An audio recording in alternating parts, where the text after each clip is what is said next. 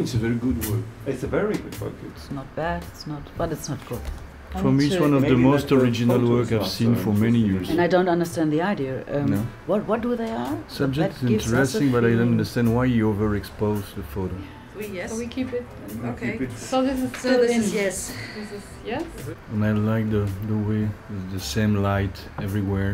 It's not a concept, it's not a story, it's photography. I, I also like it. One for itself is for me not strong enough. In the whole, Hmm. I agree. For me, it's a real uh, new work. There's something in these pictures I cannot really describe, but it's touched me. There's two images which disturb me, but for me it's a great job. Even though there is no a certain like subject or story, it, it somehow gives this, you know, feeling of and love for photography. For me, yes. Uh, For me, yes. Not Yeah. yet. Everybody clear I- with the winner? I think Yeah. we, we know everybody who is the winner. Yeah. Oh,